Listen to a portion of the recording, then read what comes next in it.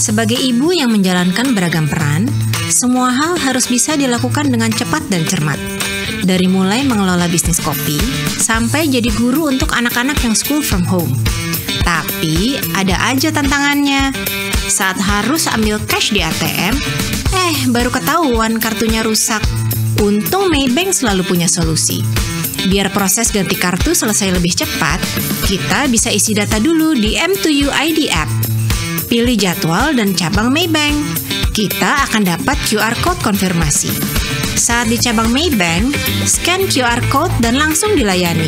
Kartu langsung jadi. Dan bisa langsung dipakai transaksi. Kalau layanannya semudah dan secepat ini, semua nasabah pasti makin happy. My transaksi lebih cepat dan praktis bank.